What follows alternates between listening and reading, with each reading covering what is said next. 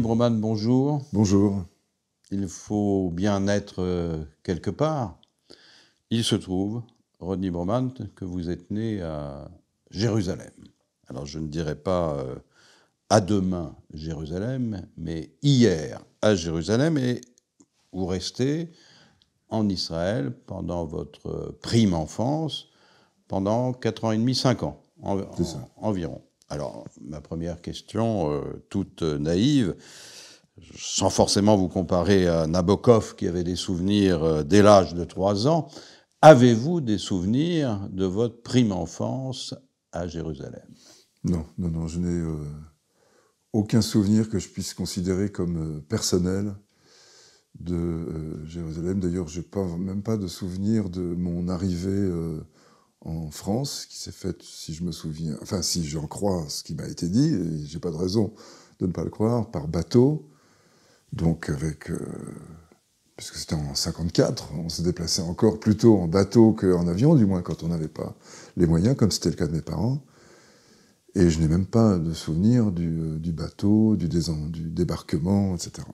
Pourtant, vous êtes venu en France avec votre mère, euh, Genia Sauer, et si j'ai bien compris, votre père est demeuré sur place Mon père est resté en Israël pendant euh, un peu plus de deux ans. Il nous a rejoints euh, à Paris quand j'avais, je crois, euh, six ans et quelques, et je ne m'en souvenais plus du tout. Je l'ai salué en lui disant Bonjour monsieur. Je ne savais pas qui il était.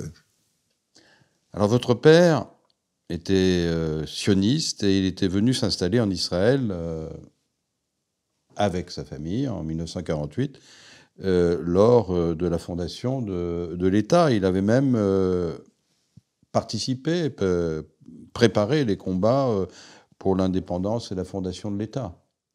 Ah oui, oui, mon père, il faut que je le dise de cette façon parce qu'il y tenait beaucoup et que je lui dois au moins ça, n'était pas un réfugié juif venant chercher la sécurité en Israël, mais un militant sioniste d'avant-guerre ce n'est donc pas le nazisme qui l'a rendu sioniste, mais sa conviction qu'il fallait euh, un État juif, euh, un territoire qui soit euh, sous l'emprise, sous l'autorité de, juifs, et cet État, ça devait être en Palestine qu'il fallait l'installer. Donc dès les années 30, il, participait à des activités sionistes, les éclaireurs israélites de France, des groupes sionistes.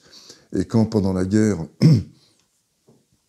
il est entré en résistance euh, assez rapidement, euh, très jeune, en 1942, dans des activités de sabotage de l'atelier dans lequel il travaillait, sabotage qui était organisé par les FTP. Il a été d'abord donc en contact avec les FTP, mais il n'était pas du tout communiste, et il était très sioniste. Et donc, euh, euh, assez rapidement, après quelques mésaventures, il a été interné, libéré, il s'est évadé. Il a rejoint la résistance euh, juive dans le sud-ouest, dans la région de Toulouse. Et il a donc été dans le, dans le maquis, le maquis de la, Montagne Noire, en 44-45. Et il a été ensuite muté à Toulouse, à Lyon, pardon, où il a été grièvement blessé, ce qui l'a empêché de s'embaucher, de s'embaucher, de s'engager euh, dans les forces françaises qui partaient en Indochine en 1945. Euh, ça m'a toujours euh, frappé parce que l'engagement dans la résistance, c'était pas l'engagement dans une armée, c'était l'engagement contre une occupation et une occupation particulièrement abjecte, l'occupation nazie, et le fait qu'à la fin de la guerre, il ait choisi euh, d'aller guerroyer euh, très loin, en Indochine, croyant, il faut le resituer, que l'Indochine était encore occupée par les Japonais, et que c'était donc contre les alliés des nazis qu'il allait se battre, ignorant totalement que c'était pas du tout la situation en 1945 en Indochine, mais finalement, donc, euh, grièvement blessé comme il avait été, euh, notamment il avait pris une balle dans la tête, euh, il n'a pas été admis dans les troupes françaises qui partaient en Indochine.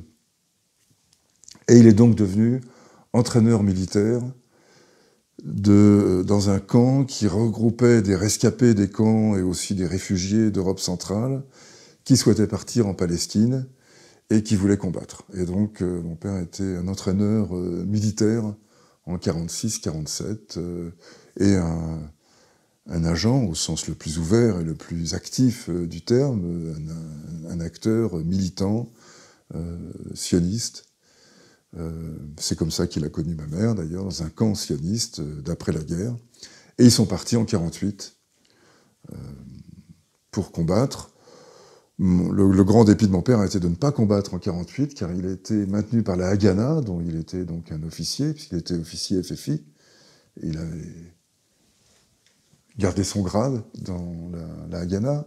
La Haganah, donc la milice qui a donné lieu à l'armée, ensuite à l'armée israélienne, connue sous le nom de Tsahal. Donc euh, euh, la Haganah lui a euh, enjoint de rester en France, dans la région de Marseille, où il, s'occupait de ce camp d'entraînement. Car euh, euh, la, libération, la renaissance, la création de l'État d'Israël, pour le dire dans des termes plus neutres, euh, n'allait pas manquer d'être suivie, les, dirigeants sionistes l'avaient bien prévu, enfin en tout cas l'avaient anticipé, n'allait pas manquer d'être suivi de troubles, de heurts dans des pays arabes où se trouvaient des juifs. Et par exemple, mon père devait entraîner des juifs algériens à se défendre contre des pogroms, contre des attaques, euh, euh, ce qu'ils ne savaient pas faire, parce que ce n'était pas quelque chose que les militaires, enfin que les combattants en uniforme savent faire, c'était ce qui était le cas de mon père. Enfin, c'était, ça, donne une idée de, de l'état d'esprit et du, fait que les, les, dirigeants sionistes de l'époque étaient bien conscients que le partage de la Palestine n'était pas le partage équitable d'un gâteau que tout le monde allait pouvoir, euh, tout le monde allait pouvoir goûter, mais se faisait au détriment d'une partie de la population, ce qui allait choquer d'autres euh, populations se sentant euh, solidaires. Voilà, donc d'emblée, on voit la, tension, la dimension très conflictuelle, pas près de s'apaiser, qui a marqué la naissance d'Israël. Et mon père a été en effet une partie prenante là-bas, mais ils ne sont pas restés en Israël. J'anticipe sur votre question pour des raisons que j'ignore. Ah c'est un. J'ai remarqué que c'est une question très délicate pour les gens qui font leur descente, puisque on monte en Israël et quand on quitte le pays, on redescend. Euh, le contraire de l'Alia. Le contraire de l'Alia, un terme hébreu dont je me souviens plus, le, contraire de l'Alia. Et euh, c'est une question au mieux embarrassante, au pire, euh, franchement, tabou, puisque s'y mêlent à la fois des considérations personnelles, familiales, d'adaptation, mais aussi des considérations euh, politiques, idéologiques, du dépit, du regret. mon père aurait sans doute fait une brillante carrière en Israël, parce que comme tous les militants de la première heure, il était promis à des postes importants. Il est venu en France sans revenu en France sans un sou. Bouffé de la vache enragée, euh, littéralement. Il a eu un parcours professionnel très exigeant, très dur, qu'il auquel il aurait échappé s'il était resté en Israël. Et vous en avez jamais parlé avec lui? Non, jamais. Et de la résistance juive et euh, en France, euh, son rapport avec les FTP, sa résistance en France, il vous en a parlé? Très peu et toujours sur le mode de la dérision. Ah oui? Pour euh, dire, euh, par exemple, qu'ils ne supportaient pas les pâtes parce que euh, ils, ont, attaqué un convoi de ravitaillement allemand quand il était dans le maquis de la, forêt, de la montagne noire, qu'il y avait pratiquement que des pâtes dans ce convoi et qu'ils se sont nourris de pâtes pendant des mois et des mois et qu'il en a conçu un dégoût qu'il n'a jamais quitté. Donc on avait l'impression qu'à part attaquer un convoi de pâtes et euh, bouffer des spaghettis pendant des mois, il ne faisait rien dans le maquis, et ce n'est que plus tard, d'ailleurs, essentiellement après sa mort, par des témoignages extérieurs ou par des documents qu'il a laissés à la fin de sa vie, dans lesquels il racontait son maquis, d'ailleurs sur un mode extrêmement sobre, extrêmement détaché, euh, rien d'héroïque, rien d'épique dans ce qu'il disait, pourtant on voit que c'était une vie euh, dure et dangereuse. Euh, mais euh, je n'ai, euh, ni moi ni mon frère n'avons rien su de, ça a été extrêmement discret, extrêmement réservé. Pour lui, c'était le passé et il n'y avait pas à embêter les jeunes générations. Je crois, enfin, c'est comme ça que je l'interprète. pas embêter les jeunes générations avec ces histoires d'anciens combattants et tout. Alors que bon, il a reçu plusieurs décorations, il a été nommé lieutenant FFI, enfin, il a fait ah un beau parcours. Et d'ailleurs, je suis devenu ami tout à fait par hasard avec le fils de son commandant de l'époque, le lieutenant Leblon, euh, qui s'appelait Lévy euh, dans la vraie vie, et qui a été tué en 1944, mais qui était son commandant, qu'il admirait beaucoup, dont il dit le, plus grand bien, qu'il exprime son admiration dans les témoignages qu'il a laissés à Paris. Effectivement, un, personnage qui force le respect, et vous voulez parler de Jean-Marc Lévy-Leblond Et c'est en effet Jean-Marc Lévy-Leblond, avec, qui je suis devenu ami. Euh, ah oui? euh, Il y a quelques années de cela, en, ah apprenant que son père avait été le commandant de, de mon père, que mon père était allé voir Jean-Marc Lévy-Leblond pour lui parler de son père. Et, euh, Celui qui est à, à l'origine d'une des plus belles collections de sciences aux éditions du Seuil, ah bah euh, sciences ouvertes. Professeur de physique théorique, philosophe des sciences, un homme très imposant, très, très impressionnant euh, et très sympathique. Alors vous arrivez en France, euh, vous avez 5 ans. Comment se passe votre arrivée d'une part, votre parcours scolaire jusqu'au lycée? Et alors quels sont pour le coup euh, vos premiers souvenirs euh, une fois que vous êtes euh, parvenu à Paris Oh, il n'y a pas grand-chose à en dire. nous étions installés à Paris dans un, immeuble dont je suis après qu'il était insalubre, au cinquième ou au sixième étage, enfin dans la chambre de bonne de cet immeuble qui a été détruit. On y était jusqu'en en 58 année à laquelle, euh, dans laquelle euh, j'ai des souvenirs de jeux d'enfants. Euh, il y avait un chien que tout le monde adorait, sur lequel on faisait du cheval, on faisait dans la cour. dans la cour. On faisait de la petite voiture avec des roulettes, une caisse et des roulettes dans, dans la rue. C'était encore l'époque où les enfants pouvaient jouer dans la rue. C'était rue du Rocher, dans le 8e, donc une rue aujourd'hui assez, assez chic, mais qui à l'époque, euh, en tout cas dans cet immeuble-là, euh, ne correspondait pas du tout aux critères du 8e arrondissement. C'était euh, un très vieil immeuble, assez pourri. Et puis j'ai découvert les miracles d'une salle de bain, d'un chauffe-eau, etc., quand on a émigré à Cheville-la-Rue, une banlieue où j'ai grandi en fait. J'ai fait ma scolarité au, lycée Lacanal, du, de la sixième euh, à la première. Enfin, je n'ai pas fait de terminale, j'ai passé le bac en candidat libre, mais euh, j'ai fait une scolarité avec des hauts et des bas, sans, sans grand relief. Enfin, j'étais pas un mauvais élève. J'étais bien bon dans certaines matières, effroyablement mauvais dans, enfin, absolument inintéressé dans d'autres les sciences naturelles, l'histoire, la géographie, des choses qui m'ont passionné ensuite, euh, n'accrochaient pas du tout mon attention euh, à l'époque. Mais euh, voilà, j'ai fait une scolarité assez un peu turbulente. J'étais viré, mais bon, comme. Oui. Alors, comment se passe votre entrée en, en politique? C'est, j'imagine, à partir de la première terminale.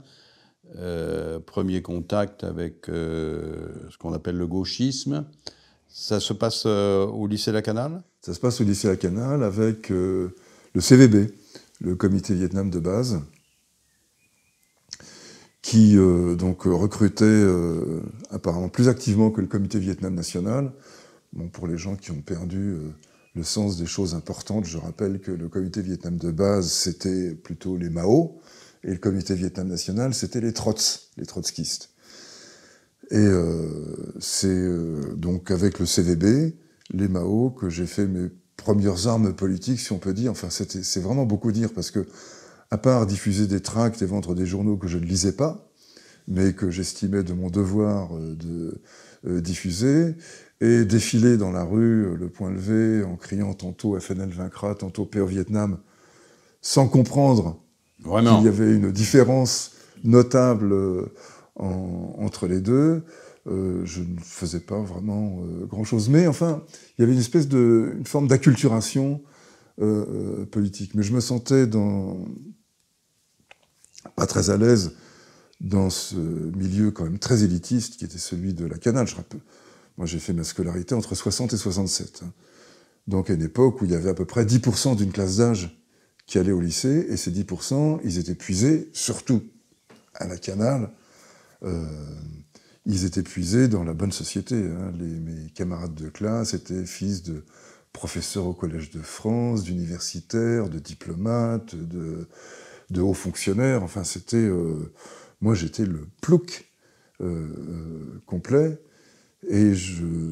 Enfin, je me vivais pas comme un plouc, mais je me vivais un peu comme étant extérieur à, ce milieu. Et par exemple, le, gars, l'excellent élève qui, évidemment. enfin, c'était.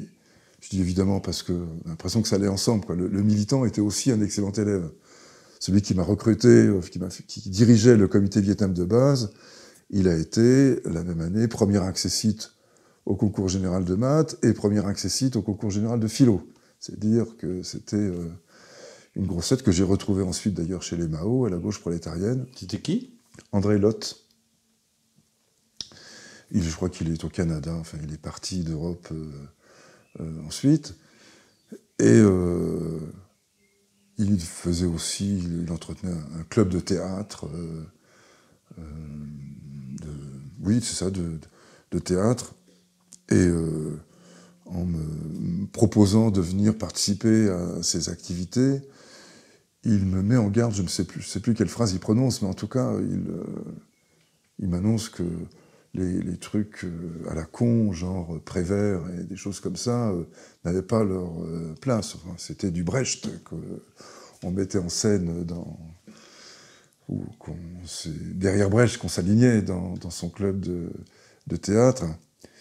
Et moi, j'étais totalement décontenancé. Enfin, c'est un des souvenirs euh, marquants du, lycée parce que ça prenait euh, à rebours euh, toute l'idée que je me faisais de la culture. Parce que Prévert, était, Prévert et Desnos étaient portés au pinacle dans, dans la famille, enfin, par ma mère. Tout particulièrement. Et s'asseoir comme ça sur Prévert, ou en tout cas donner un coup de pied négligent au passage, c'était pour moi une espèce de sacrilège dont j'avais pas conscience parce que je, je sacralisais pas Prévert. Mais ça me semblait totalement, totalement fou. Du coup, j'ai évidemment jamais mis les pieds dans ce club de théâtre parce que je savais que j'y avais pas ma place. D'autant plus que Jacques Prévert a fait du théâtre a participé au fameux groupe Octobre euh, pendant le Front populaire, euh, lequel groupe Octobre, disons, a accompli un véritable travail de culture populaire au sens noble du terme. Et euh, donc là, votre camarade, il était un peu à côté de la plaque. Il était totalement à côté de la plaque, méprisant, enfin un, mépris de classe, un mépris intellectuel qui était absolument odieux. Je l'ai très mal pris, c'est pas du tout. Mais, mais bon, ça m'a pas, pas dissuadé de, de ce qui était quand même, de, participer à ce qui était, je trouve, euh, quand même important à l'époque, qu'aujourd'hui encore je considère comme euh, salutaire, qui était une mobilisation anti-impérialiste, euh, le défi, aller défiler dans les rues pour protester contre l'attaque américaine du Vietnam et les, dégâts abominables, la plus grande guerre chimique de l'histoire de l'humanité, des millions de, victimes, enfin c'était tout de même quelque chose d'important. Euh, bon, ça c'est grâce à lui que j'ai été, euh, j'ai rejoint les, forces euh, de la rue, et je lui en suis reconnaissant de ce point de vue-là. Alors les forces de la rue, Ronnie Broman, ça n'empêchait pas quand même qu'il devait y avoir chez vous une forme de conflit de, loyauté, parce que si j'ai bien compris, vous étiez encore sioniste pendant cette période gauchiste. On verra ce que ça veut dire plus tard antisioniste, parce que je suis pas sûr que ce soit forcément toujours la, la bonne formulation, mais toujours est-il que vous êtes euh, à l'époque encore dans la dans l'ardeur, enfin disons, d'un certain euh, sionisme, et que euh, en face de vous, Alain Gesmar, qui n'est pas forcément le plus perspicace sur cette question, vous met un peu en porte-à-faux, en contradiction. Vous savez pas, vous savez pas trop bien où vous situez à ce moment-là sur sur cette question, sur le Vietnam, évidemment, vous savez vous situer, mais sur le, le Proche-Orient.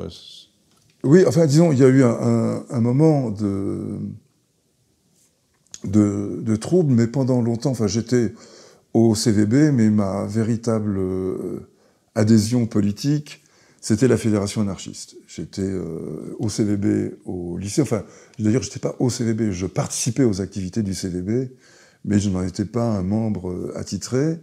En revanche, j'étais membre du groupe Louis Michel de la fédération anarchiste, à laquelle je contribuais assez euh, activement et dont je garde vraiment encore aujourd'hui un très très bon souvenir. Et ça, c'était, disons, jusqu'en 68. Euh, je suis rentré à la fac en 67, j'ai passé le, bac en juin 67, et euh, en 68, j'étais donc étudiant, je m'ennuyais à la fac d'Orsay où je faisais ma première année de, de médecine. Et dès euh, avril-mai, j'ai commencé à participer aux manifs de l'UNEF euh, auxquels j'étais euh, affilié. Et il n'y avait pour moi aucune tension. En juin 67, pendant la guerre des six jours, j'étais, comme je crois la plupart des gens qui, de tradition ou de, de, filiation juive dans le monde, accrochés à la radio du matin au soir prêt à m'engager, euh, ce, dont évidemment il n'était pas question du côté israélien, mais euh, prêt à, prêt à m'engager, donc euh, sioniste de d'évidence, je dirais, pas, même pas de conviction, ça allait de soi.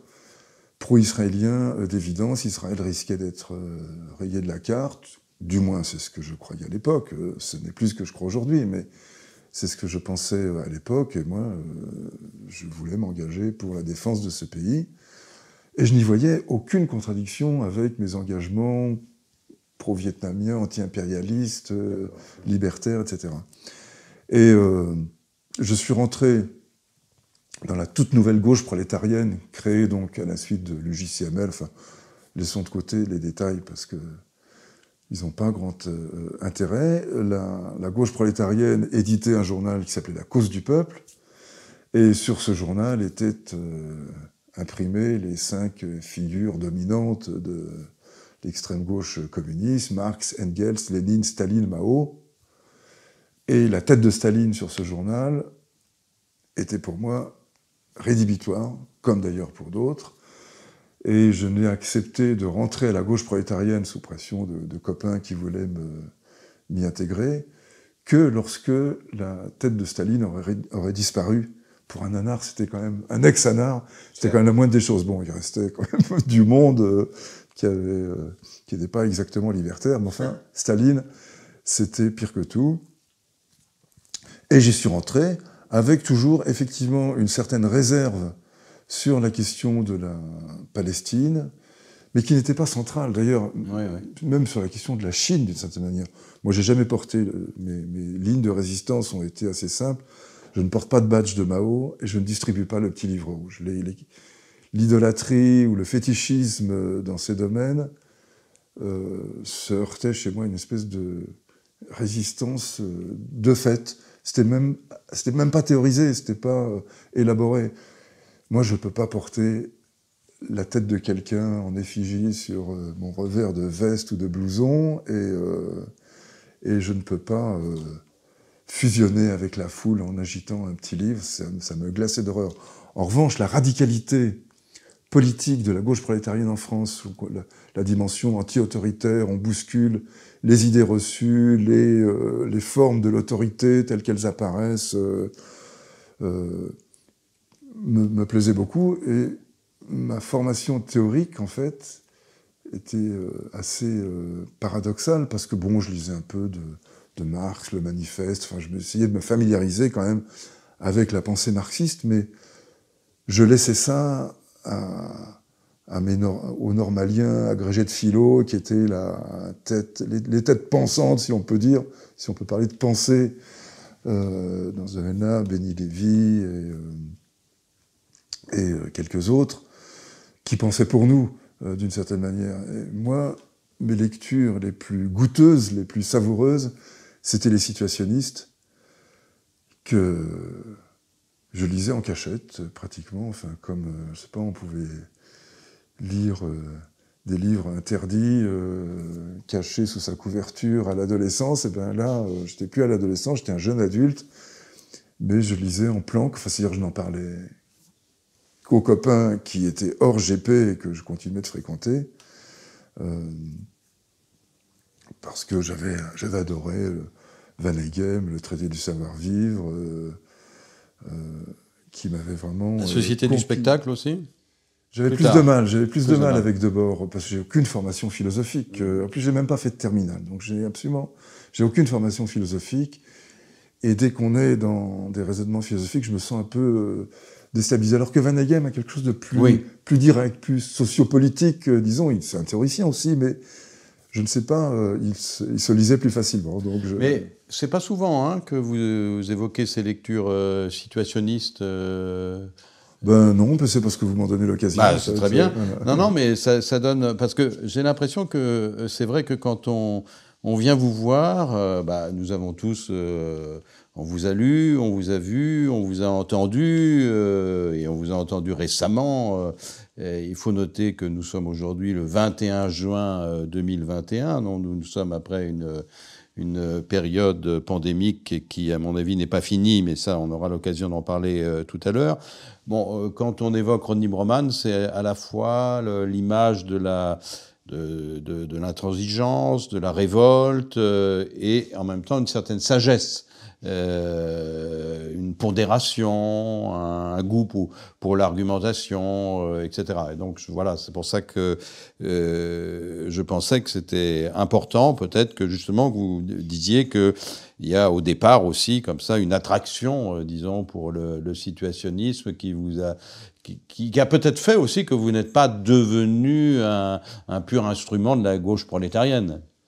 Oui, oui, euh, les situationnistes m'ont aidé, enfin, leurs propos sur euh, leurs analyses de l'image de la place rouge, des grandes célébrations communistes euh, chinoises, le, peuple qui fusionne pour restituer l'image du grand, leader, la, la, mise en spectacle de soi-même, la marchandisation générale, tout ça a été raconté avec des, enfin, dans une forme que je trouvais euh, magnifique et très euh, euh, convaincante.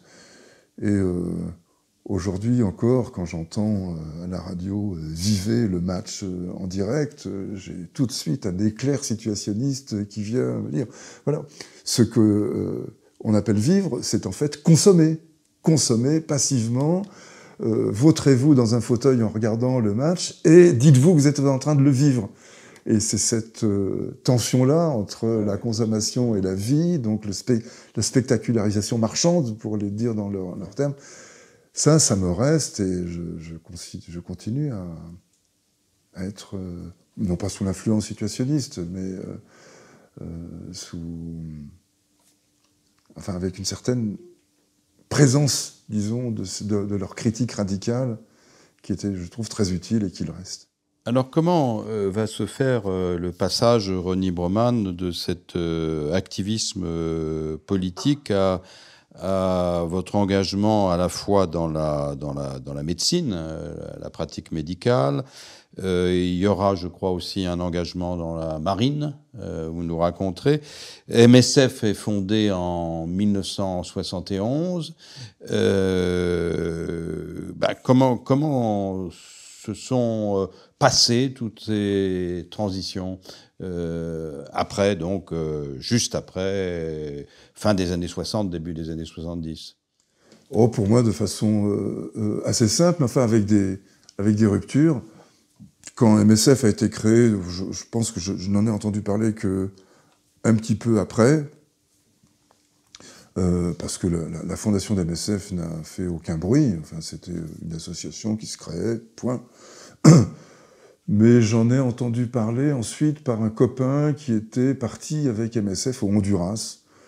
Et il en était, à l'occasion, à la, suite d'un ouragan qui avait frappé ce pays, il en était revenu extrêmement dépité parce que il n'avait rien fait, il avait charrié des seaux d'eau, ce qui n'était pas euh, exactement ce pourquoi il était venu.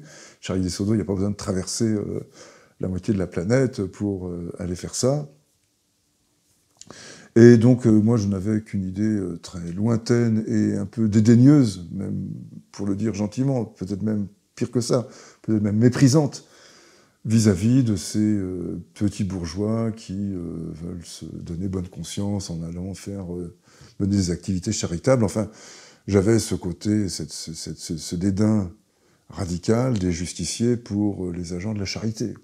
Moi, c'est un, véritable ordre juste qui éliminerait toute nécessité de faire de la charité, euh, qui me semblait être euh, l'horizon souhaitable. Et donc, ces gens-là bouchaient l'horizon d'une certaine manière. Donc, non seulement, ils étaient malvenus. Quoi.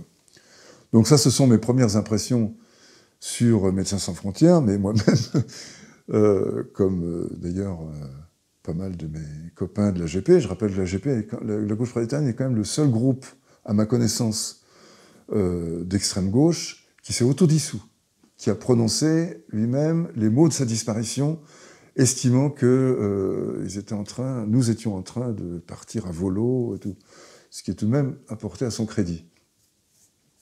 Mais entre-temps, euh, on avait vu une, radicalisation euh, violente, euh, sectaire de l'AGP qui devenait de plus en plus difficile à, supporter. Et moi, le premier moment où je me suis demandé si vraiment j'avais ma place encore dans cette organisation, c'est quand, en discutant avec un cadre, car nous avions des cadres, en discutant avec un cadre, je me félicite d'une action menée par la Nouvelle Résistance Populaire, qui était, c'est le début de notre délire, enfin, la Nouvelle Résistance Populaire, c'était un groupe clandestin qui était euh, destiné à être une espèce d'avant-garde armée de la gauche euh, prolétarienne, et on s'appelait la Nouvelle Résistance Populaire parce, par opposition à la bourgeoisie qui occupait les rues. Donc il y avait une espèce de référence à la Deuxième Guerre mondiale, où nous, on était les résistants, les mineurs, et où la bourgeoisie, c'était en gros les nazis. Quoi. Commençait à devenir quand même, quand même sérieusement malade. Là. Oui, quelle année ça? Bah, Tout ça, c'est 71, 72. Hein, tout ça, ce sont nos normaliens agrégés de philo hein, qui le pondent quand même. Hein. Donc depuis, j'ai conçu, j'ai gardé de 68 une, distance. une méfiance vis-à-vis des diplômés et de l'intelligence et du diplôme qui est tout à fait euh, salvatrice pour ce qui me concerne. je m'étais rendu compte que j'étais plus euh, vraiment dans le coup, où j'avais plus vraiment ma place quand, euh, comment dire, au soutien que j'apporte à cette action résistante, je me rappelle plus laquelle, ils avaient enlevé quelqu'un ou accroché des trucs, le cadre me dit mais ça va pas, enfin tu vois pas que c'est une provocation policière, euh, que ça n'a rien à voir avec nous. Et euh, donc si j'étais plus capable de reconnaître une provocation policière d'une action juste de partisans à caractère de masse pour le dire dans les termes de euh, l'époque, c'est que j'avais un, un problème. Donc, ça avait commencé, et puis ça a continué avec euh, le procès de Bruyère en Artois, cette jeune fille qui a été assassinée, enfin violée et assassinée, retrouvée morte dans un fossé de ce village minier, cette bourgade minière du Nord. Assassinat qui a donné lieu à l'arrestation d'un notaire totalement innocent, mais condamné parce qu'il était notaire. Et Jean-Paul Sartre aurait mieux fait de se taire. Jean-Paul Sartre et bien d'autres, et Béni Lévy, et bien d'autres auraient mieux fait de se taire, puisque nous avons dressé des tréteaux pour installer un tribunal populaire qui allait juger le notaire et qu'on avait mis en place, on, la GP, moi j'y étais pour rien quand même, hein. j'étais un petit soldat de la GP. Et euh, on avait mis en place un journal qui s'appelait J'accuse, donc euh, en se référant tout de même euh, un noble euh, passé, Zola, Dreyfus, tout ça, pour vouer aux gémonies et tenir un discours extrêmement puritain, terrifiant sur cette affaire. Et l'affaire de Bruyant en Artois a été vraiment l'épisode qui a fait éclater la, la gauche prolétarienne. Et et donc, euh, je m'en suis séparé à ce moment-là. Donc, c'est vers 73 à peu près. Je reste gauchiste, mais sans, sans plus d'attache militante, je reprends des études que j'avais laissées un petit peu en sommeil. De médecine? De médecine. Et en, cravachant, en me formant. bon, j'étais infirmier de nuit pour, payer, pour financer mes études, donc j'étais quand même au contact des patients. J'étais euh, la médecine était pour moi quelque chose de très important que je n'avais, dont je m'étais distancié seulement à grand regret et que, enfin, c'était pour moi un crève-cœur de m'éloigner de la médecine pour euh, faire de la politique parce que c'était vraiment une vocation pour moi, la, médecine. Et donc, je renoue avec cette vocation. Je, travaille, j'ai beaucoup travaillé euh, à ce moment-là en tant qu'externe dans les services pour préparer des examens que j'avais laissés de côté, qu'il fallait que je que je rattrape. Et euh, voilà, donc je, restais, euh, disons, gauchiste dans l'esprit, mais je n'avais plus de, pratique. Pourquoi choisissez-vous, euh, pendant vos études de, médecine, de faire un certificat d'épidémiologie? Ah, mais j'ai fait à la fois, j'ai choisi des, des, services et des formations qui me semblaient correspondre à une préparation à une pratique médicale euh, tous azimuts, euh, lointaine, ou de toute façon je voulais faire de la médecine sociale. Le terme d'humanitaire m'était totalement étranger, et d'ailleurs il était assez largement étranger à la société. Le, mot humanitaire commence vraiment à apparaître dans les années 80, mais dans les années 70 on en parlait peu. D'ailleurs Médecins sans frontières ne se définissait pas comme une organisation humanitaire, vous l'apportez, une assistance médicale à des populations éprouvées par des catastrophes le, référent humanitaire n'était même pas euh, considéré comme nécessaire. Mais bon, c'est un, détail. Euh, en tout cas, moi, j'ai fait de la médecine d'urgence, de la chirurgie, de la chirurgie d'urgence, de l'épidémio, de la santé publique, de la parasito. Enfin, j'avais une appétence pour tout ce qui pouvait me rassurer quant aux conditions futures de l'exercice que j'allais prendre. Euh, sachant que, enfin, étant donné que je ne savais pas exactement comment j'avais envie de partir faire de l'épidémiologie euh, pour lutter contre la maladie du sommeil en Afrique, dans une grande tradition euh, coloniale, euh, médicale, coloniale, mais je voulais aussi travailler dans des bidonvilles, faire de la santé publique dans des bidonvilles, et bon, bref, je voulais élargir ma, mes capacités de choix, mais, et de fait, bon, ça m'a servi, enfin, beaucoup de choses m'ont m'ont servi là-dedans. Donc j'ai fait de, bons, investissements. Tout ça, ce sont des diplômes d'université, hein. ce ne sont pas des certificats de spécialité, je ne suis pas omni-spécialiste, mais j'ai plusieurs compétences euh, en santé publique, en épidémio et en, médecine d'urgence, médecine d'urgence de l'époque, qui n'a plus grand-chose à voir avec la médecine d'urgence d'aujourd'hui. Donc je, je n'ai rien d'un urgentiste euh, aujourd'hui, mais de l'époque, je savais me, me, débrouiller. Ça a tellement évolué. Dans ce sens-là, c'est beaucoup technicisé. À l'époque, il n'y avait pas de discipline de médecine d'urgence. Aujourd'hui, on est médecin urgentiste, c'est une discipline reconnue. Ça n'était pas le cas euh, euh, à l'époque. Alors je vous dis ça parce que euh, à l'époque où on avait fait ce livre Humanitaire le, dilemme en 1987, vous aviez déjà, si je puis dire, anticipé des épidémies futures. Enfin, en tout cas, vous aviez non pas tiré la sonnette d'alarme, mais enfin dit qu'il il y aurait certainement mais c'est l'évidence, et c'est une évidence qui n'a fait que s'accroître et que, qui n'est pas du tout une évidence prophétique que je voudrais m'attribuer. Tous les gens qui s'intéressent aux épidémies savent ça depuis longtemps, euh, à commencer par l'OMS, qui a déjà depuis longtemps euh, alerté. Donc il n'y a rien d'héroïque à avoir alerté précocement. Simplement, moi, je, me suis trouvé notamment dans les années 2000, donc après ce, nettement après ce, livre, à, accentuer encore euh, ces annonces parce que j'ai j'ai enseigné euh, à Sciences Po, euh, euh, notamment à des gens qui s'interrogeaient sur un parcours en santé publique autre que médical, puisqu'on peut faire de la santé publique sur un mode plus administratif ou technique sans être nécessairement médecin. Et j'ai toujours encouragé les étudiants qui se destinaient à la santé publique sur ce mode-là, en disant le 21e siècle sera le siècle de la santé publique, c'est le siècle des virus, euh, les épidémies se multiplient. Euh, depuis le sida euh, des années 80, qui m'avait frappé parce que je suis peut-être la, dernière ou l'avant-dernière génération d'étudiants en médecine à qui on expliquait que la question des maladies infectieuses était sur le point d'être révolue. Ah que les progrès de l'hygiène, de l'immunisation et de l'antibiothérapie euh, permettaient de venir à bout de euh, tout cela, et que par conséquent, euh, l'infectieux s'était réglé. Et puis est venue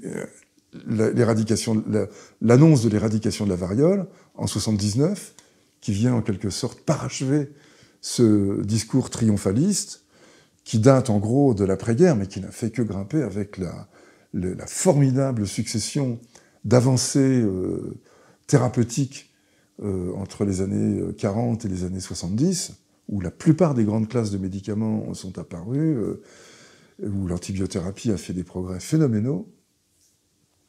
Et donc, bon, c'était une affaire réglée. Et le sida, juste après la disparition de la variole, euh, un an ou deux après, une nouvelle euh, épidémie apparaît, une nouvelle maladie effrayante apparaît, c'est euh, le, sida. Et dans son sillage, d'autres sont, sont, apparus. Et là, avec le, début du siècle, Zika, chikungunya, le SRAS, SARS-CoV-1, donc par rapport au SARS-CoV-2, et maintenant le, corona, sans parler des épidémies localisées, d'Ebola, de choléra, etc. Donc, démographie, urbanisation, changement climatique, euh, monoculture, élevage intensif, euh, tout ça, ce sont des conditions qui favorisent la prolifération euh, microbienne et les passages d'espèces, les franchissements d'espèces entre, par exemple, les porcs, les pangolins, les chauves-souris. Pangolins est hors de cause, mais les chauves-souris, pas du tout, elles sont extrêmement actives. Et donc, ça n'a rien de prophétique d'annoncer cela. Et ça n'a rien non plus de catastrophiste. Il faut simplement se préparer. C'est pas du tout euh, en soi euh, une, euh, un cri d'alarme, mais c'est une prise de conscience d'un problème très réel, de, face auquel on n'est pas du tout démuni, mais face auquel on a quand même besoin de travailler quand même beaucoup plus. Votre première intervention sur le théâtre des opérations humanitaires, c'est le Cambodge. C'est la frontière du Cambodge. en quelle année? enfin, je suis parti avec Médecins sans frontières en mars, début 78, à la frontière du Laos dans un premier temps, puis du Cambodge dans un premier temps. C'était en Thaïlande, dans des camps de réfugiés qui fuyaient donc euh, successivement le Laos et le Cambodge. Mais auparavant, j'avais déjà euh, été euh, impliqué sur le, terrain, comme on dit, au Bénin et à Djibouti, de façon beaucoup plus brève parce que j'avais été recalé à, MSF, à qui je m'étais présenté en 75, parce qu'ils avaient lancé un appel pour recruter des médecins pour le début de la guerre du Liban.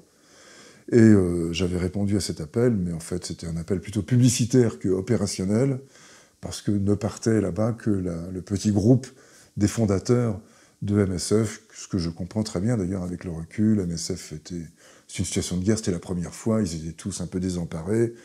Il voulait pas que n'importe qui se balade avec une étiquette MSF euh, sans savoir qui était cette personne et tout. Donc ça me paraissait tout à fait euh, compréhensible, un peu sérieux, mais n'empêche que j'ai maudit MSF pendant 2-3 ans de ne pas m'avoir euh, recruté quand je m'étais présenté.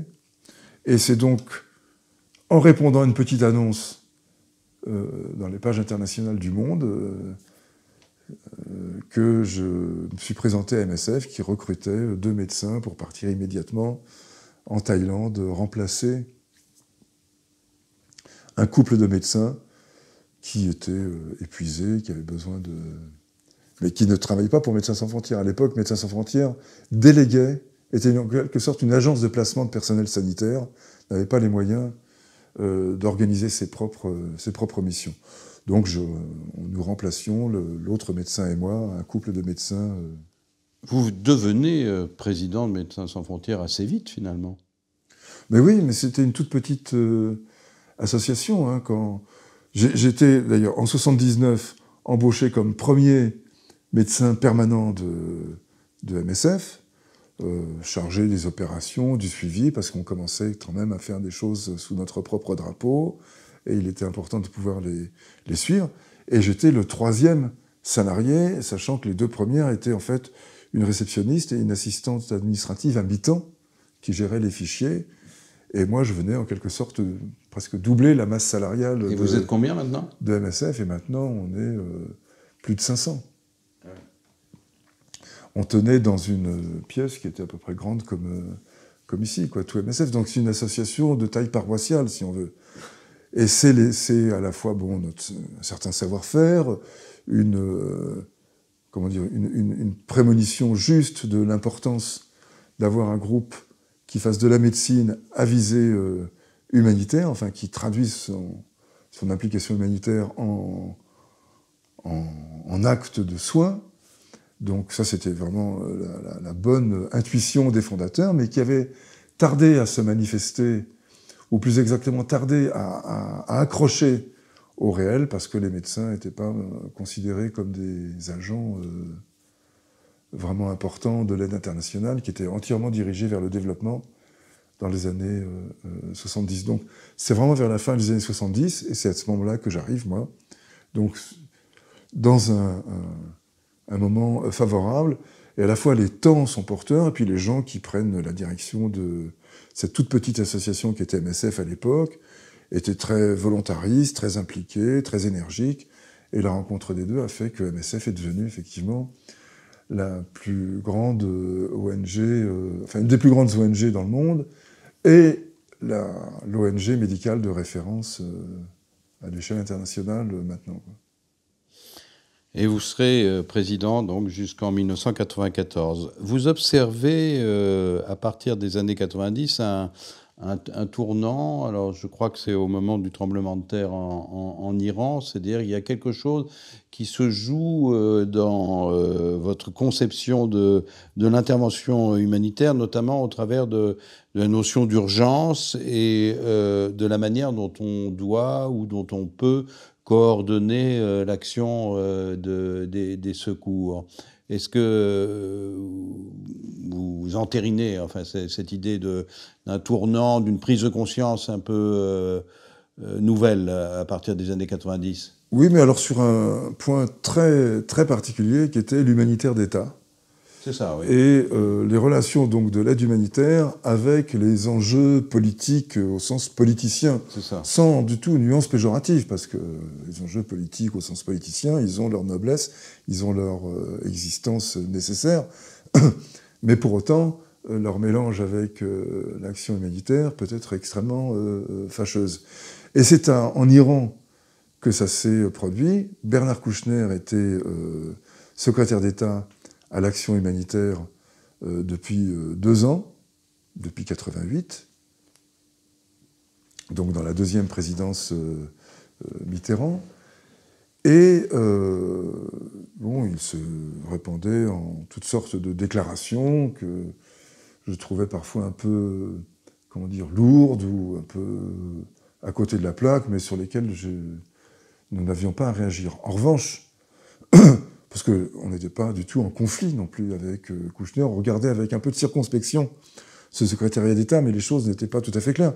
Après tout, Claude Maluret avait été secrétaire d'État aux droits de l'homme dans le gouvernement Chirac deux ans auparavant, et il n'y avait pas eu de tension. Euh, donc là, un secrétaire d'État à l'action humanitaire, bon, c'était un peu la, grande époque euh, libérale, la découverte de la société civile, de, son inventivité, des, des personnalités qui en sont issues, etc.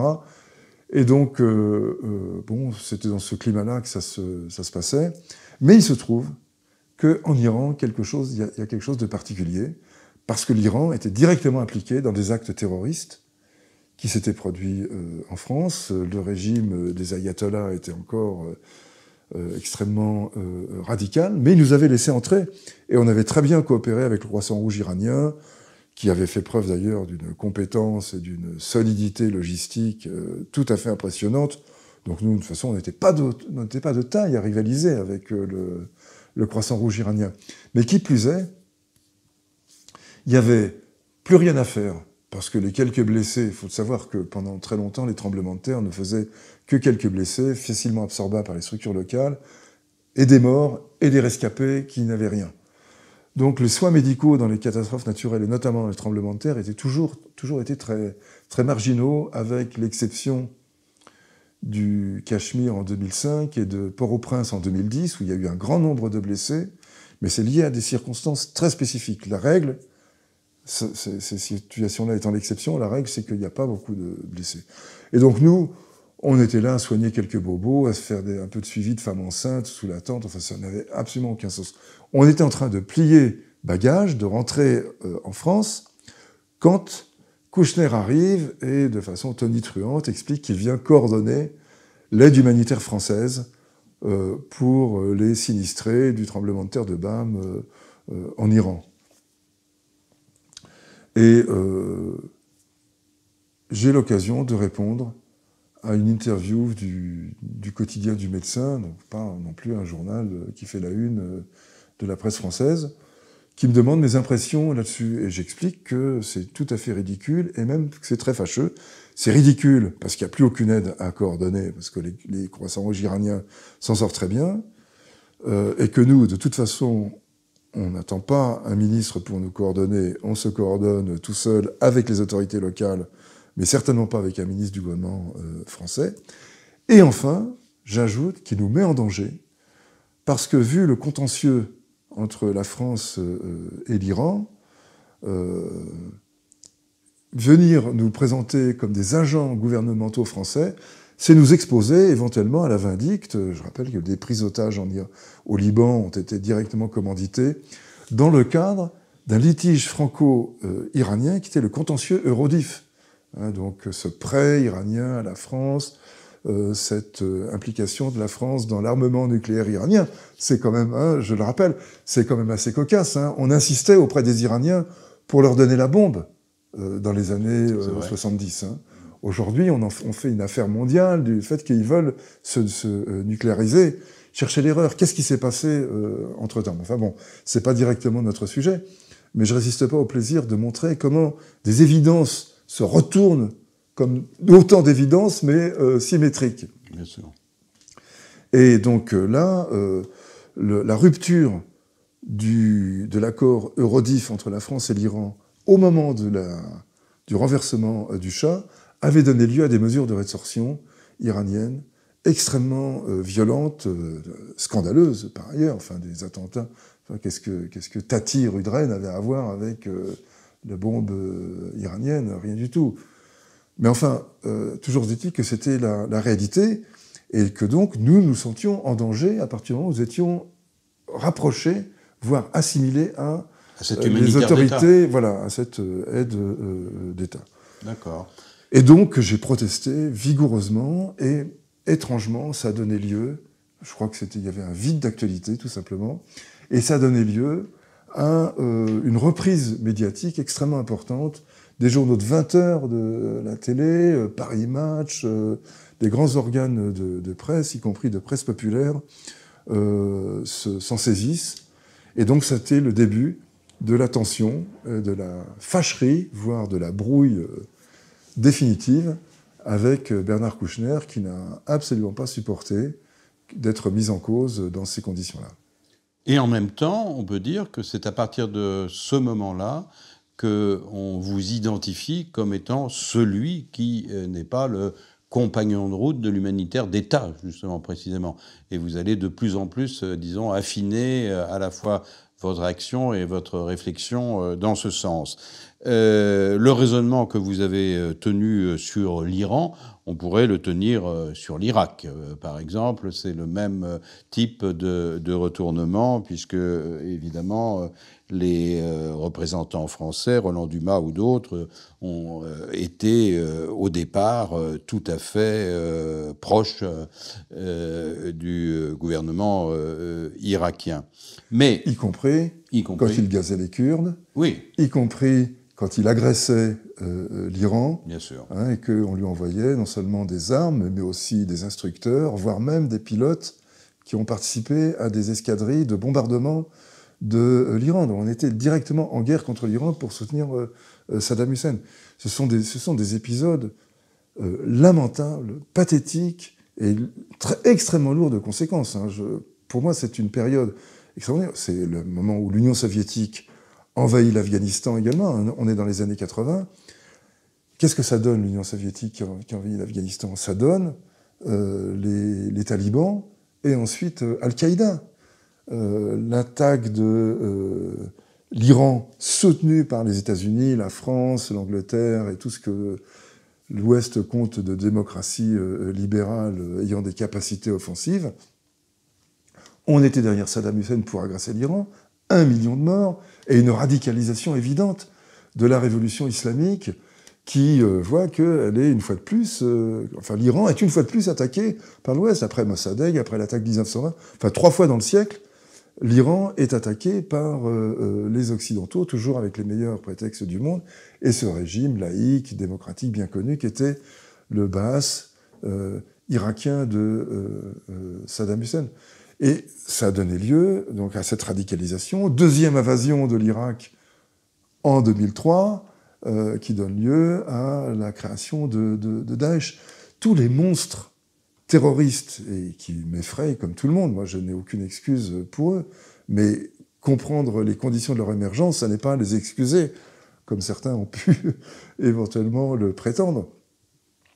Et, bien ces monstres sont nés des interventions internationales et des formes d'occupation qui, s'en sont euh, suivies et que ça ne donne pas plus à réfléchir, qu'on continue d'attaquer la Libye et ensuite d'occuper euh, plusieurs pays sahéliens, de croire qu'avec nos armées, on va résoudre le problème du terrorisme et de la démocratie, ça me laisse pantois. Je, suis euh, aujourd'hui encore littéralement stupéfait de voir que les mêmes conditions produisent les mêmes erreurs et les mêmes décisions avec les mêmes conséquences sans qu'on semble s'intéresser aux échecs des autres, parce que c'est toujours les échecs des autres, sans doute, et que nous, on va faire mieux. On va faire mieux en Libye que les Américains ont fait en Irak, on va faire mieux au Sahel que Sarkozy a fait en Libye.